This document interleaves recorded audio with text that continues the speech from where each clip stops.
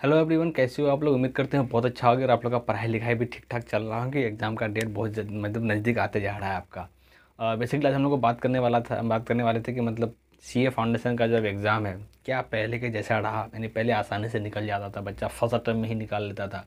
अब कहीं ना कहीं पहले कंपेयर में जो है ना, अभी फ़र्स्ट अटैम्प में नहीं निकाल पा रहा है। तो क्या पहले से कुछ चेंजिंग हुआ है या क्या पहले के कंपेयर में थोड़ा सा हार्ड हो गया? यानी पहले की तरह आसान नहीं रहा? तो जी हाँ दोस्तों, बहुत सारा चीज़ आपको बताने वाले हैं हम कि किस तरह से हम लोग कह सकते हैं कि नहीं, कहीं ना कहीं पहले के लेवल पे अभी जो है सी ए फाउंडेशन कहीं ना कहीं थोड़ा सा हार्ड हो गया है।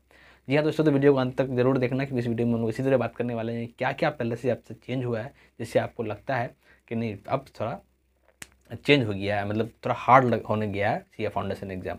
तो सबसे पहले बात करें कि हम लोग का जो पहले जो होता था, यानी जो मतलब सिलेबस जो 2024 से पहले था उसमें तो हम लोग को ये था कि वही चार पेपर, अब भी चार पेपर।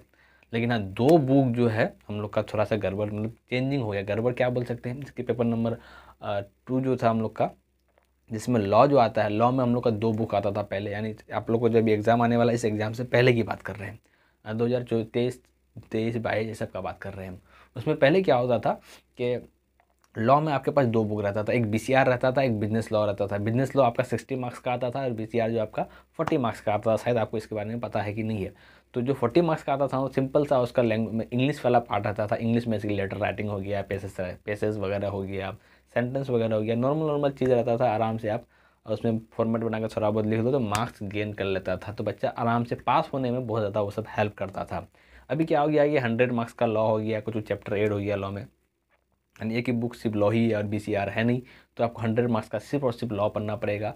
तो पहले जो आप लोगों को बच्चा लोग को लॉ में पास करने में जो हेल्प करता था बीसीआर अब वो हेल्प नहीं रहा यानी जो गोल्डन पीरियड था हम लोग का पहले, जो बीसीआर हम लोग को जो एक गोल्डन फेस था, जो हम लोग को हेल्प करता था, हमने खुद उसकी मदद से पास हुआ है। तो मेरे लिए तो बहुत बढ़िया था क्योंकि हमने भी उसकी मदद से बहुत ज़्यादा मार्क्स गेन किया था।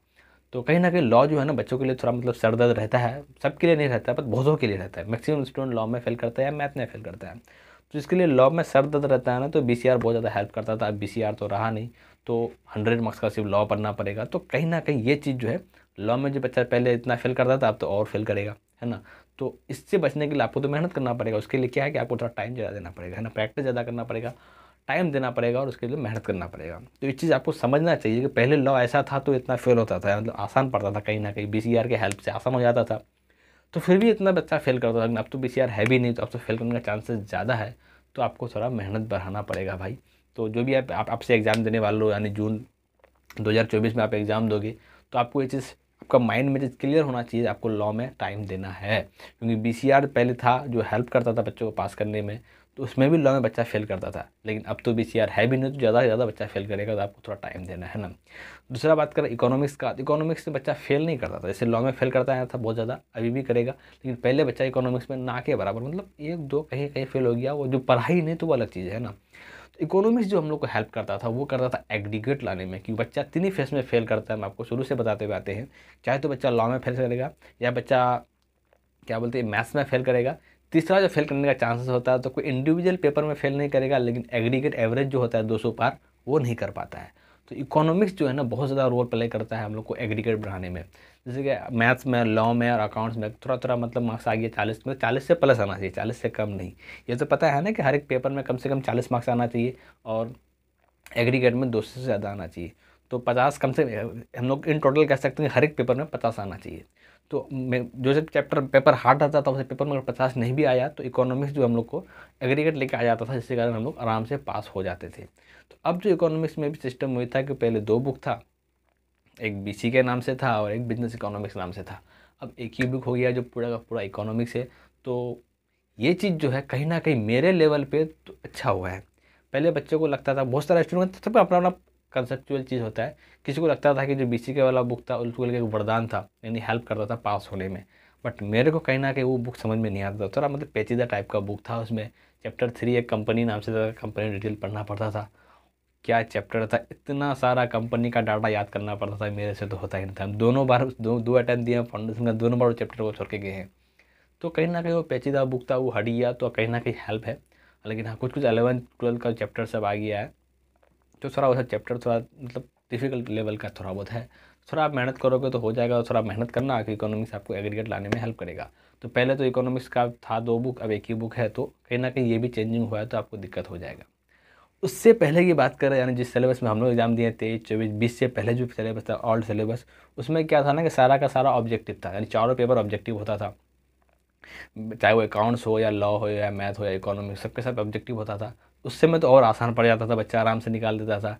फिर हम लोग का फेस आया। हम लोग में क्या हुआ कि दो पेपर सब्जेक्टिव कर दिया, दो ऑब्जेक्टिव कर दिया, जो अकाउंट्स और लॉ था वो सब्जेक्टिव कर दिया। उनमें से लॉ में दो पेपर था तो कहीं ना कहीं आसान था। तो अभी ये कंपेयर में तो वो भी थोड़ा आसान था, लेकिन अभी जो है, वही सिस्टम पेपर तो फोर ही यार। दो सब्जेक्टिव है, दो ऑब्जेक्टिव है, लेकिन दो बुक जो थोड़ा बहुत चेंजिंग हो गया ना सिलेबस में थोड़ा बहुत चेंजिंग हो गया ना। कुछ कुछ इंटर का सिलेबस आ गया, कुछ एलेवन ट्वेल्थ का नीचे से ले लिया है। तो कहीं ना कहीं थोड़ा मतलब जो है ना ज़्यादा कॉम्पैक्ट कर दिया है, नीचे से भी उठा लिया है इंटरमीडिएट से भी लेके इंटरमीडिएट मतलब सी ए इंटरमीडिएट का, ऊपर से हाई ऊपर से भी लेके आ गया और नीचे का एलेवन ट्वेल्थ का भी सिलेबस लेके आ गया। तो कहीं ना कहीं थोड़ा मतलब पेचीदा कर दिया है सिलेबस को। तो थोड़ा सा टफनेस है, हम तो बोलेंगे थोड़ा सा टफनेस है। तो थोड़ा पहले के कंपेयर में अब ईजी ना रहा। तो मेरे भाई, आप लोग को इस चीज़ का बताने का, डराने का कोई मकसद नहीं है मेरा कि आप लोग को डराएँ कि हार्ड होगा ऐसा कुछ होगा। डराने का मकसद नहीं है। इस लाइन में आए हो तो भाई हार्ड तो है ही है, सब कुछ हार्ड है। पढ़ोगे तो है। ईजी नहीं पढ़ोगे तो हार्ड तो आप लोग को मेहनत करना पड़ेगा। बेसिकली कहना यही है कि मेहनत करना पड़ेगा। आप अगर मेहनत करके पढ़ोगे तो आपके लिए आसान पड़ जाएगा, सिंपल सी बात है। तो आपको मतलब पहले से हम तैयार कर रहे हैं, है ना? आपको बता देते हैं पहले से कि आप जो है ना, पहले की तरह हल्का में मत लेना कि आपका कोई सीनियर था जो फ़र्स्ट टाइम में निकाल लिया और आप भी निकाल लोगे। तो ये मतलब गलत फहमी मत रहना। उसका फ़ेज़ अलग चला गया, आपका फ़ेज़ अलग है, नया फ़ेज़ है, नया कंपटीशन है और ऐसी भी सेले मतलब रिज़ल्ट जो देख ही रहे हो, कितना ख़राब आ रहा है सी का। तो आपको मेहनत करना है। बाकी जितना भी टाइम है ना भाई, दिन रात एक कर दो। अगर पास होना है तो। तो मेहनत तो करना ही पड़ेगा पास होने के लिए, बस। बाकी हाँ हार्ड है, पहले से कंपेयर में बस इतना ही था तो एक चीज़ आपको बता दें कि डिस्क्रिप्शन में आपको मेरा टेलीग्राम का लिंक मिल जाएगा, है ना? तो वहाँ से ज्वाइन ज़रूर कर लेना। वहाँ पे हम लोग रोज़ का एक टास्क देते हैं, जिसमें आपको टास्क सॉल्व करना है। मैथ्स का एक एमटीपी देते हैं आरटीपी देते हैं मॉक टेस्ट देते हैं। तो सॉल्व करना है और आपको अपना एवोलेट करना है खुद से कि आप कितना अच्छा लेवल पे हो मैथ्स में। तो मिलते हैं बहुत जल्द तक नई वीडियो के तब तक के लिए बाय बाय